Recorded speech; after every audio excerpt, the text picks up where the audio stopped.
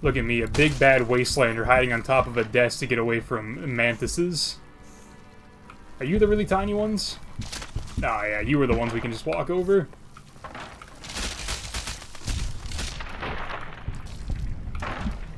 What a horrible thing for me to do.